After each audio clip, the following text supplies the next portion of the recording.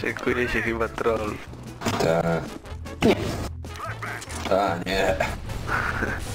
A nie, z Magdą Gessler to jeszcze nie widziałem. Może być ciekawe. No jak na pewno nie będzie to odgrzewany kotlet. Magda, leć po parówki. NPK jest mag... Balkon. Srać i zachciał.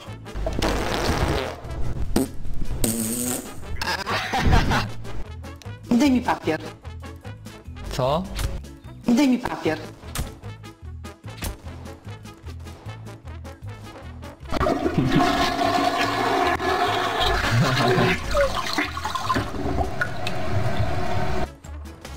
Po tych parówkach pewnie.